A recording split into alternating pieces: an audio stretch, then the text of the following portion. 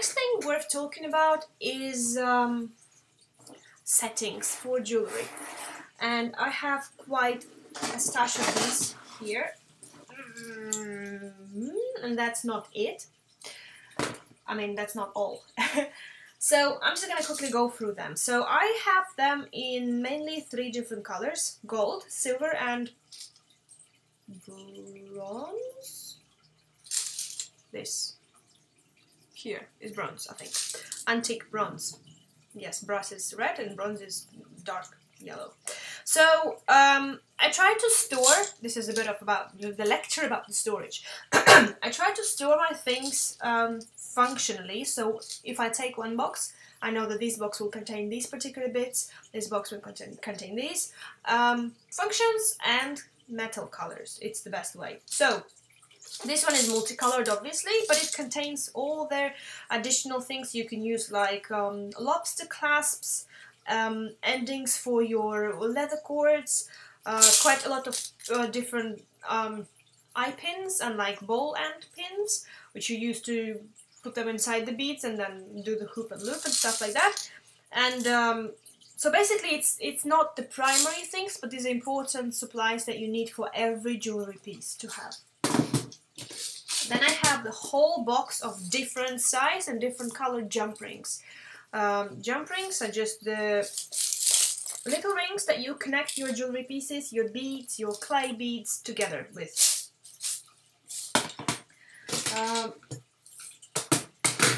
the other one I have here is full of chains and that's also not the whole stash of chains I have. I keep topping it up sometimes, sometimes I buy too much that doesn't fit in, into these compartments so I keep them in separate uh, boxes. Then I have these um, fine gold, like gold plated elements, which I buy from Etsy. Uh, there's a few shops out there like this. You're gonna have to make a search, but if you just search for silver plated or gold plated elements, you'll find quite a lot. So these are the ones I selected. I keep them for my journals as those big golden elements that I place sometimes in my journals. Same comes to silver, but I run out of all silver elements right now, so don't have many.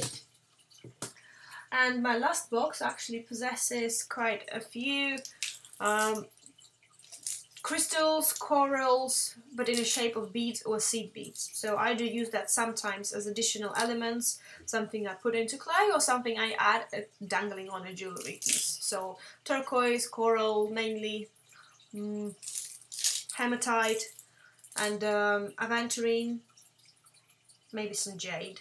So nothing too expensive, but the colors and the things that I accumulated for the years, all this stash, you know, it took me six years of using and reusing and buying again to collect. So if you think like, whoa, she has a lot of things, you should think that I, first of all, spent a lot of money for that, but during the years and years, and when you're buying things um, no, I can't say like in bulk because buying in bulk for us artists is quite um, it's not effective because you're not going to use as much like this in bulk, that in bulk. You're gonna have to use quite a lot unless you have a whole factory of little little workers out there helping you out, which I don't.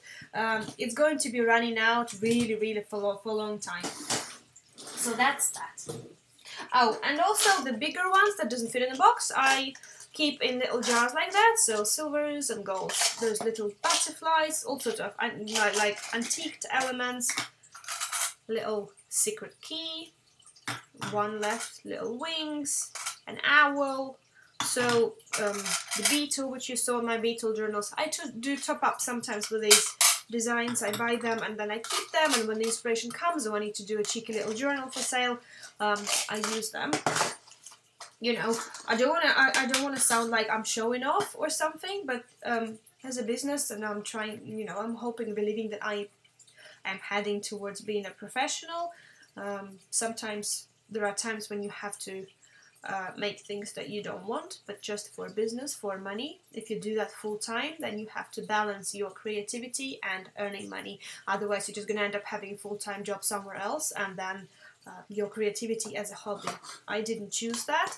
I choose to be a professional in polymer clay industry, which is a very, very tough decision. It's hard and not everyone can do that.